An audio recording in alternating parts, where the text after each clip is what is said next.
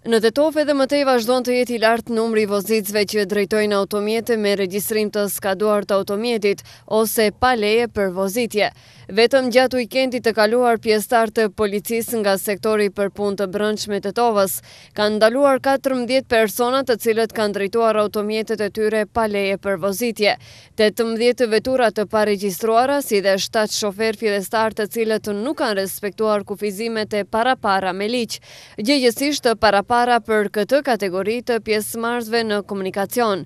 Këto dhe kundërvajtje të tjera të konstatuara në kontrollet e ditës së shtunë dhe të dielës, Janë rrumbullakësuar, gjegjësisht janë sanksionuar me dyzet e dy sanksione për kundërvajtje dhe tetëmbëdhjetë fletëpagesa për gjobë, kështu që kundërvajtësit do të përballen me gjoba adekuate.